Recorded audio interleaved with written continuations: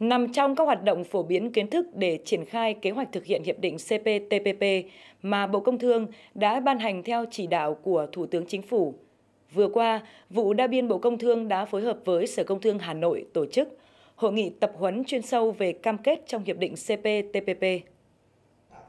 Tại hội nghị, các chuyên gia đến từ các bộ công thương, kế hoạch và đầu tư, tài chính và ngân hàng thế giới đã phổ biến tập huấn chuyên sâu cho cán bộ đến từ Sở Công Thương, khu vực phía Bắc về những nội dung cơ bản của hiệp định CPTPP như tổng quan về cam kết hải quan để được áp dụng thuế ưu đãi của hiệp định CPTPP, nguyên tắc chung, hình thức, mô hình xóa bỏ thuế quan trong hiệp định, cách thức tra cứu biểu thuế của các nước CPTPP, các cam kết chính về quy tắc xuất xứ và thủ tục chứng nhận xuất xứ, cách đọc hiểu và tra cứu quy tắc cụ thể mặt hàng để xác định xuất xứ hàng hóa, vân vân. Tại đây, các học viên cũng đã trực tiếp thảo luận, hỏi đáp các nội dung về tiếp cận thị trường trong lĩnh vực dịch vụ đầu tư trong hiệp định CPTPP theo tình huống thực tế.